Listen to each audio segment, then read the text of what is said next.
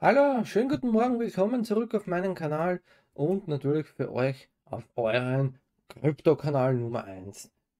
Wir schauen hier gleich einmal rein auf TradingView, was sich getan hat und wir sehen gleich, Bitcoin hat sich heraufkämpft und ist immer noch in der Aufwärtsphase.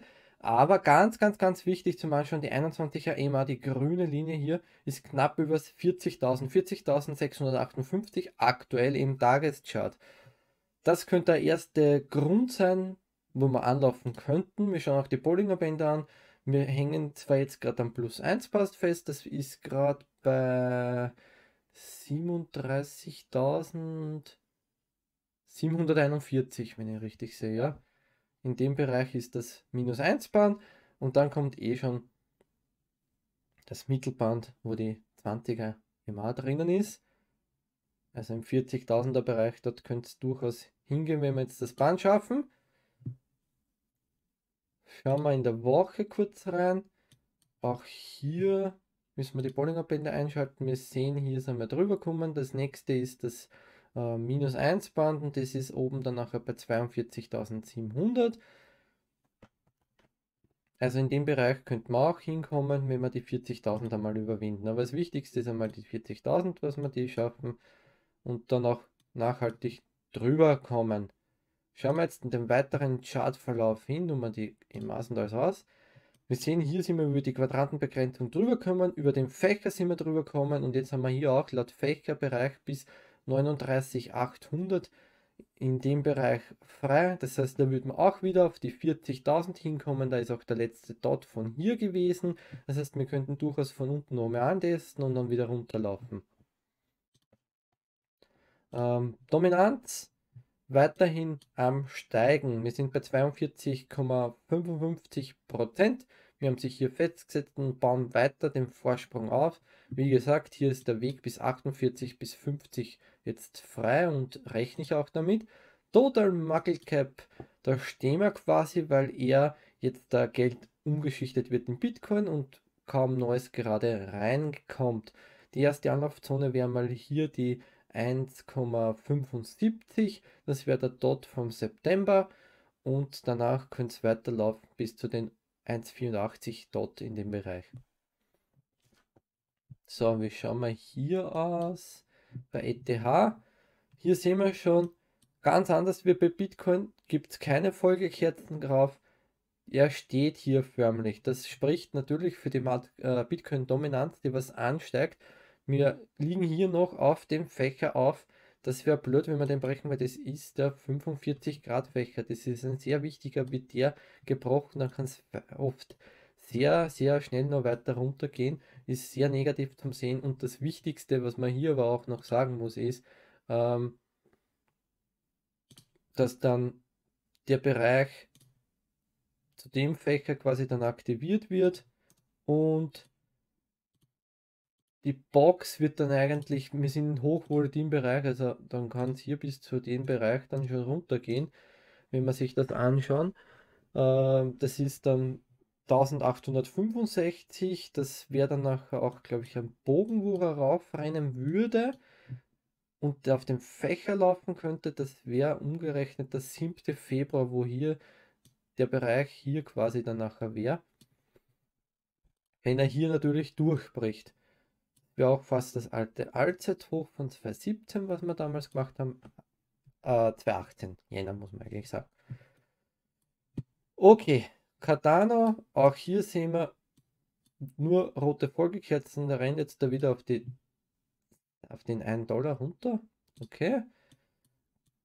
Gerade einmal Binance Coin hält sich auch gerade nur fest, obwohl der neues Projekt bei Binance Launch Pool aktiviert worden ist, wo man wieder meinen kann, was wieder die Leute animiert, BNB zum Halten und nicht zum Verkaufen. DeFi hat sich geschafft, da wegzuhauen von der Quadrantenbegrenzung. Cake bleibt hängen. Solana bleibt momentan auch neutral hängen. Polkadot kommt ein bisschen besser davon, gibt es grüne Kerzen, genauso wie VeChain. Sogar XRP hat jetzt grüne Kerzen momentan, äh, Elf nicht. Dogecoin ja, weil wir da gestern einen coolen Tweet von Elon Musk mit McDonalds auf Twitter gesehen haben. Da hat er geschrieben gehabt, ähm, Äh, wenn McDonald's Dogecoin als Zahlungsmittel akzeptiert, dann wird Elon Musk live äh, im TV ein Happy Meal essen. Ja, darauf ist natürlich gleich der Kurs gepumpt. Ich glaube, in der Spitze waren es 20%, was er wieder innerhalb von wenigen Minuten dann gepumpt ist. Elon Musk halt, wissen wir. So, dann schauen wir weiter. Luna, schwach. Uni, schwach. Avex, ja, hat gestern schöne Kerze gemacht. Link, schwach. Litecoin auch schwach. Algo schwach. BTH schwach. Shiba schwach. Mathweg, die kommen gut weg. Falcon schwach. XLM schwach. ICB schwach. Atom. Ja, eigentlich recht gut darauf. Jetzt korrigiert er wieder runter. Ist die Frage, wie weit er fällt in dem Bereich von 32, 50 so in dem Bereich sollte er halten.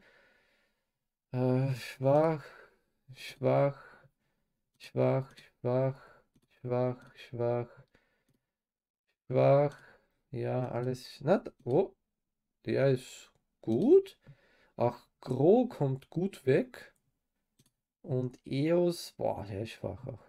Das, also allgemein grüne Vorzeichen heute, aber wir wissen genau, ganz wichtig, FED-Sitzung ist heute, der Zinsentscheid wird heute bekannt gegeben, ganz genau. Also um 20 Uhr, glaube ich, unserer Zeit ist unbedingt abends aufpassen. Es kann jetzt wieder sein, dass rauf geht und dann abends mit denen ordentlich verkauft wird. Wenn es jetzt heißt, boah, März kommt jetzt der Zinsentscheid, wir machen dann noch da im September einen und im Dezember noch einen, so halt grob irgendwie jetzt gesagt, ähm, dann werden die Märkte, denke ich einmal, ordentlich purzeln. Auch wenn es eigentlich eingepreist werden muss, weil es wieder seit Monaten und Wochen drüber geredet und diskutiert und alles und das steht eigentlich schon fest auch.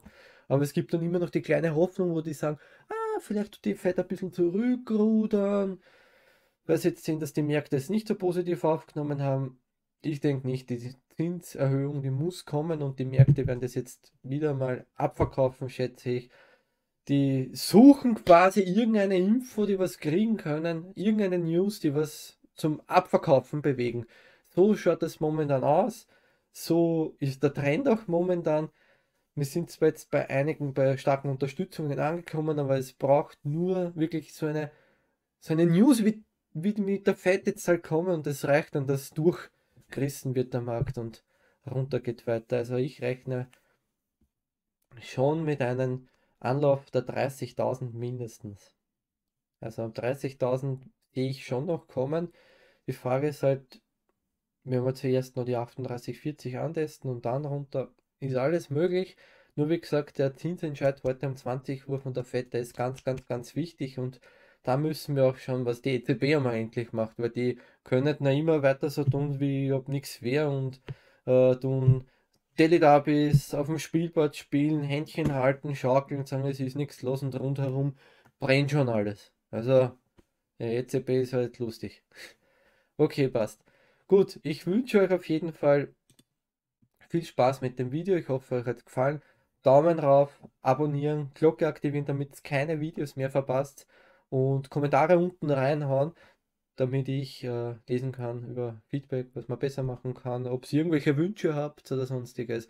Und bis dahin sehen wir uns beim nächsten Video. Tschüss, vielen Dank, Servus und ciao.